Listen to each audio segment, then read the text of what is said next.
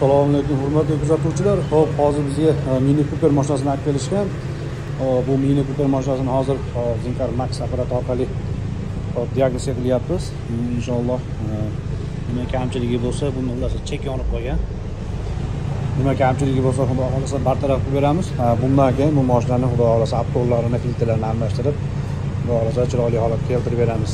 Injektorlarni yechishyapti xudo xohlasa injektorlarni e, tozalab bir qator chiroyli injektorlarni ko'rib suyuchalarni ko'rib beramiz inshaalloh. Hozir buni e, zinkar apparatini e, yangi modelida bu ham высокий ham низкий tozalaydigan apparati bor. Shunda hozir buni injektorini tozalaymiz xudo xohlasa. Ham bu test bo'ladi ham buni xudo xohlasa chiroyli qilib tozalab beramiz inshaalloh. Hurmatli kuzatuvchilar hop buni injektori mana shu ekan. Hozir bolalar yetishib qolganlarni ham bu dona dona chiqar ekan juda bir e, ehtiyotkorlik bilan yechmasa mana bir nozik joyda joylashgan ekan. O'zi ko'ryapsizlar mexanizmlari ham ancha bir nozik ekan. Kim biladi yana shunaqa hop injektor qanaqa mashinada bor deb o'ylaysizlar. Usta akalar shunaqa bir injektor yechgan mashinalarni eslolmaysizlarmi hurmatli kuzatuvchilar hop mana mini kuper mashinamiz tayyor bo'ldi. Xudo xohlasa injektorlari yaxshi tortishlari yaxshi.